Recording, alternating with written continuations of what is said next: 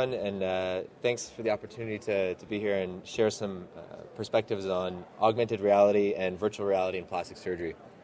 I'm going to talk a bit about the um, what is the reality spectrum to help you understand the differences between some of the terms used in uh, augmented and virtual reality. Uh, I'll discuss a bit about the hardware. Uh, I'll show you some of the applications of this kind of technology. And then um, I'm going to show everybody a live demo of, of some of the toys that I have with me. So, the history of augmented and virtual reality starts a couple hundred years ago in the 1800s, where a French painter uh, by the name of Franz Roubaud created these immersive 360 degree murals the point of which was when the observer comes into a room with this huge painting, they suddenly feel like they're immersed in the environment and they no longer have any other point of reference except for the painting. That was one of the first sort of applications of creating an environment where somebody's completely immersed and essentially it's a virtual reality. This technology progressed slowly but surely, uh, and the next step was creating a stereo, the concept of a stereoscope, where two similar images are placed together through a lens and combined to the user, it creates depth perception. The first story, however, of virtual reality comes in sci fi, uh, also in the 1800s. And in this story, it's a very futuristic perspective of how virtual reality was this set of liquid goggles that you would put on. It would somehow transport you to a different dimension and give you a different perspective of reality it's kind of interesting seeing how virtual reality has evolved since then from the original sci fi story. Throughout the years, virtual reality technologies, augmented reality technologies have slowly evolved to go from extremely cumbersome, uh, not portable at all pieces of hardware to the more commonplace things that we see today. The spectrum of reality is important to understand when talking about this technology because there really sit on a spectrum from what we see in regular life, which is reality, what we're all seeing right now, and then in the middle you have augmented reality. So your field of vision plus some s- sort of hardware or uh, enhanced vision that allows you to see what you're seeing plus data on top of that. And then finally, virtual reality, which is a completely synthesized image that immerses you and has nothing necessarily to do with your surroundings. So this whole genre is called mixed reality, reality augmented and virtual reality. But ultimately, any kind of mixed reality uh, technology needs an onboard computer that can take information from your outside environment, process it, and then change it on a visual display that's presented back to you. So virtual reality is, uh, uh, like I said, completely immersive, and the technologies available are not as different from each other as they are in the augmented reality setup. So the technologies I have shown here are the three leading companies in the virtual reality space. The bottom left is the HTC Vive, the top is the Oculus Rift, and the bottom right is the Samsung Gear.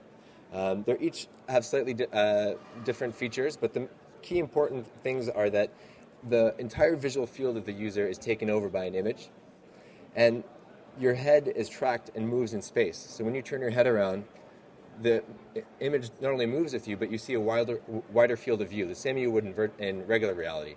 Right now, I can't see what's behind me, but when I turn, it becomes apparent. Augmented reality technologies are a little bit more diverse. There's different kinds of AR, and I'll tell you about them. So, the first kind of augmented reality that we've seen many times is spatial augmented reality. So, when you've, if you've ever seen projection mapping on a building that makes it move and look pretty, that's actually augmented reality, using an existing structure with a projection map on top. Here are some other examples the Sydney Opera House, another building that's moving and, and changing shapes. Handheld augmented reality has become increasingly popular um, through gaming. So, if anyone has ever seen or heard of Pokemon Go, that is what put augmented reality on the map. Um, so, you have a handheld device that has a video input, it changes and plays with the image, and then presents it to you on a screen not available yet on the market, but uh, there's different companies in the space developing a contact lens form of augmented reality. So again, there's a processing uh, unit all within the small contact lens that has a, a, a way to present you a, an image.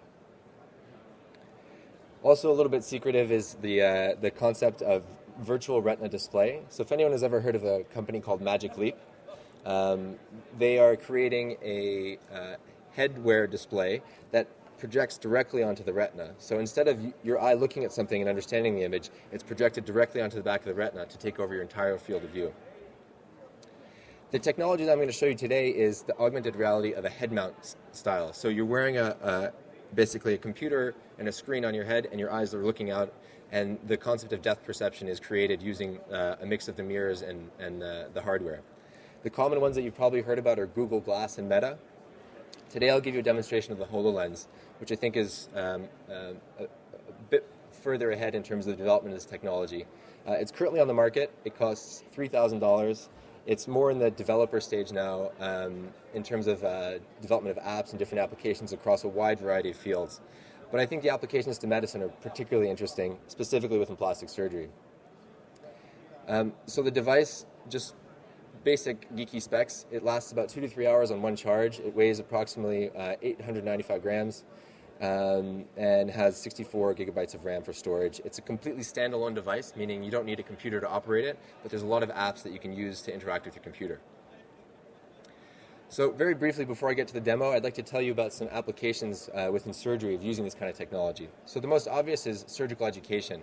Um, having the ability to, to record um, and have a point of view perspective is very useful creating training libraries for residents and teaching students as well as um, you know interacting with data in uh, in a live setting. Furthermore, being able to call up anatomical diagrams and markings in the middle of a surgery is a huge benefit.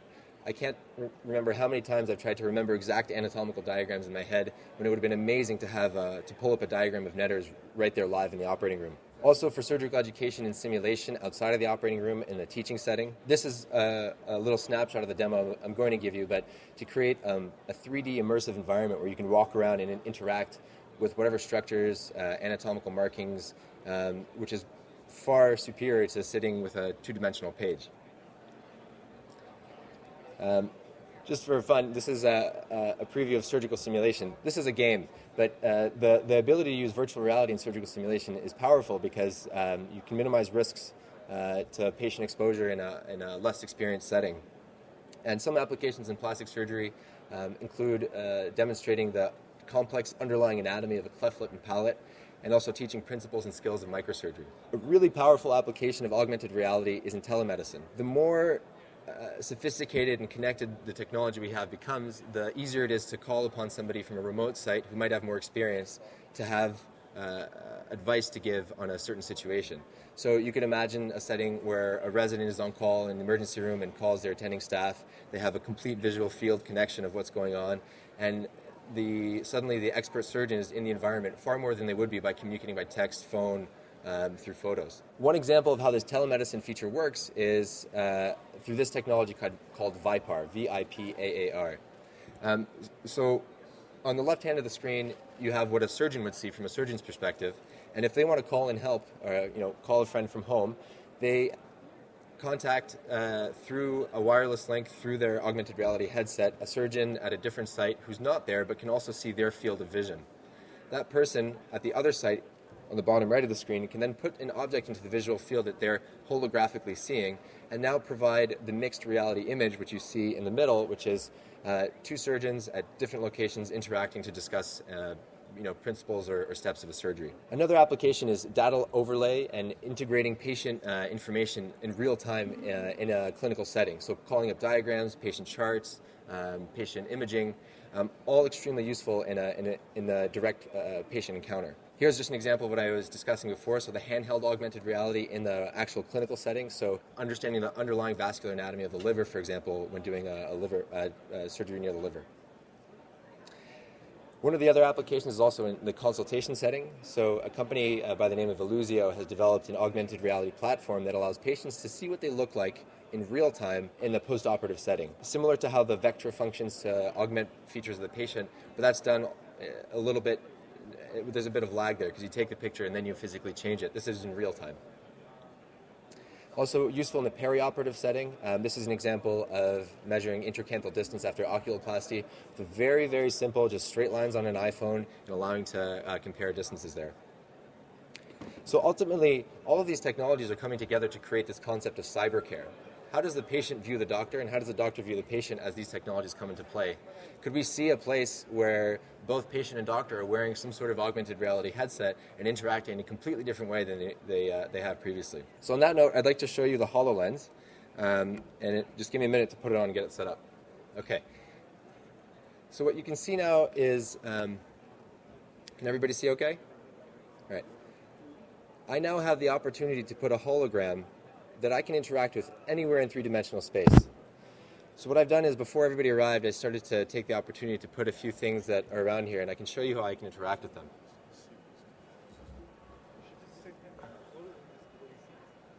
So this is just for fun, but I've put some things here that you can see that are floating and interesting, and I can appreciate them in real time in, in a really multi-dimensional setting.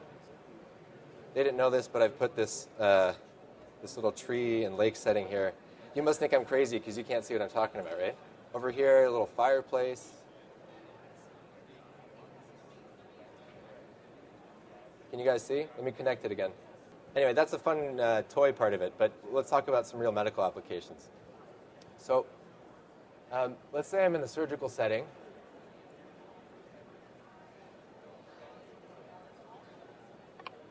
And the importance of creating preoperative x rays to have available to interact with. Is everybody still seeing that? Okay. So imagine I'm in a surgical setting and I, I want to reassess uh, the details of a, a, patient's fracture while in the OR, and I don't want to um, unscrub, I don't want to break my field of view. And you can see I haven't touched anything yet, so I'm still fully scrubbed technically. Um, or, for example, uh, you know, I want to pull up somebody's anatomy or just remember a certain diagram in Netter. So I can, in real time, take and manipulate these images and, and have a look. So you can start to see that there's a real strong immersive component. Um, usually doesn't lag this much, but the more kind of interaction you have with cellular interference, obviously that's, a, that's an issue. Um, one really important application, I think, is the potential for surgical education, and I'd like to show you a demo. Augmented reality can help with anatomic study. It allows the learner to use high resolution holograms to study bony structures, vessels, muscle groups, and even complex facial anatomy. This is an example of a student reviewing anatomy in an on call room with a high resolution hologram. This hologram can be shared amongst a group of students, all wishing to partake in anatomical teaching. Holograms can be customized to fit the needs of the learner.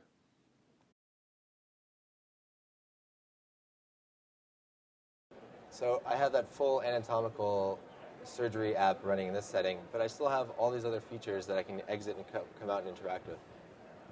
So I apologize for the little bit of lagging. Like I said, uh, in the right setting with the right connection, you have a much more immersive environment. Um, yesterday, I did it in an area where there was actually not much wireless interference, and it was working pretty well. Um, so, transitioning out of the HoloLens, I want to show you one other technology, but now from not from the surgeon's augmented reality perspective, but from a patient care perspective. That was augmented reality. Now this is a virtual reality application. So one way, uh, an interesting te- uh, company that's been exploring the use of virtual reality to decrease perioperative anxiety and pain is Applied VR. Now, what Applied VR has done is create a immersive virtual reality uh, interactive software where a patient, for example, a child who's getting a burn dressing change or removal of a cast, basically any kind of uh, high anxiety, high pain situation, they can put on this headset, fully visual and audio immersive, and they're distracted. So there's decreased sensitivity to pain. This uses the principle of the gate control theory, where overstimulation of another sense can help decrease the activity of pain sensation. So to demo this technology, um, Alex is going to help me out here, and I'm going to show you what she's going to be seeing in real time through this kind of immersive game slash uh, interactive environment. So um, there's different uh, applications of that kind of software. There's a, a, a, game setting where you know the child picture you know if you've ever seen a, a, child have a burn dressing change, it can be incredibly painful and they have to usually be sedated. But in this setting, they put on this little headset with goggles. They're involved in a game that's fully immersive and interactive, which is better than just a regular video game because they can still see in uh, their peripheral environment. But here, this fully immersive setting changes their perspective to the point where um, studies have been done to show decreased uh, need of sedation and pain medication. This is just another example of a similar kind of game where instead of shooting bears with a gun and a cannon, uh, it's snowballs in a different setting. So you can imagine the merging of this kind of gaming interactive software with the ability uh, to decrease postoperative or perioperative pain anxiety could be really powerful. This could also have an application outside of pediatrics in a more uh, uh, minor or elective surgery center where patients don't aren't asleep during procedures, perhaps in the cosmetic setting, and undergoing uh, either needling or uh, other minimally invasive procedures where they are still present in the environment, and if they have any level of anxiety, um, it could be greatly decreased by sort of allowing them, finding them a, a, helpful way to relax. This is an example of a guided meditation. So there's music playing and there's things moving around you, and you can explore your environment, um, all while having a, a procedure done to you. Thanks, Alex. So, any new technology is not without its limitations, and I think it's important to, to mention the three major ones that I find with, uh, with this upcoming technology. The first is HIPAA compliance. So, any company in the space um, that plans to enter the medical area with virtual and augmented reality technology needs to uh, create a, a, data encrypted way, and there's companies working in the space to help uh, all the augmented reality tech. Also, the element of distraction is important. So if you're operating and your reaction time is decreased, your awareness is decreased because you're wearing a headset, that's, that's a significant concern. And finally, just because it's shiny, new, and interesting doesn't mean it's a cost effective innovation. There needs to be um, a cost effective way to apply it and justify the expensive cost overall, I think augmented and virtual reality will continue to make its way into the medical setting uh, and the surgical setting, but as costs decrease and more resources and, and interesting utilizations are found, it'll become more applicable. Some of the next steps are to incorporate uh, real time tracking analysis, 3D software in, uh, for surgical planning. I mean, imagine doing a preoperative marking without ever using a pen. You just wear a headset that marks it in real time and keeps track of where the patient is. I think the biggest play for the future of augmented reality and virtual reality is actually the merging of the concept of big data and augmented reality. So, this paper uh, highlights the ability of a computer algorithm with time and exposure to hours and hours of surgical videos to understand like understand what's happening in the video. And I mean specifically understanding surgical steps. This motion is cauterizing, this motion is suturing, this motion is ligation, this motion is anastomosis. So if a computer can understand the steps of a surgery in real time with an onboard camera, it becomes a powerful utility to change a whole number of things. For example, if a computer can understand the steps of a surgery, it can then replace the need to dictate it afterwards because it knows what happened. So, in summary, an, an augmented reality device needs to be one that can integrate patient data in real time it should enhance consultations uh, for the patient as well as uh, the, the, care provider. Um, it should really be an immersive setting that makes surgical education more interesting and appealing than just the traditional 2D images. And then it needs to really synthesize uh, the collection of, of what's happening around the patient. So, just to take you back from where we started, the story of the Pygmalion spectacles, I thought it was uh, interesting. One line from that story, it reads as follows Of course, nobody knows anything, you just see what information you can get through the windows of your five senses, and then you make your guesses. When they're wrong, you pay the penalty. So even though we all rely on our five senses constantly, the fact that there's a technology out there that can enhance that is a significant thing to think about if used in the right setting to avoid whatever mistakes we might be making or things we don't have access to because we're not enhancing our senses. Thank you very much.